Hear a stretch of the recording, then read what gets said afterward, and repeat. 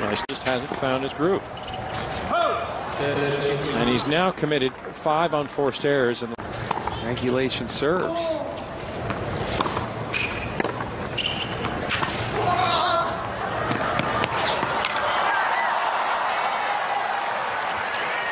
Help from Federer in this game. Wow, three bad return errors for Federer, and I don't know if he has that in Cincinnati against Nadal.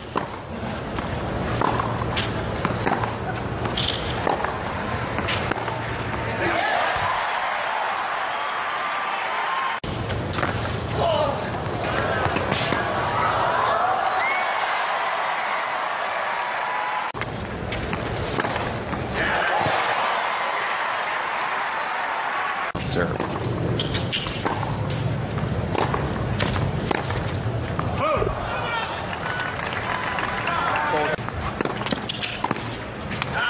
It's going to be a long 90 seconds for Tommy Robredo. Rado serve.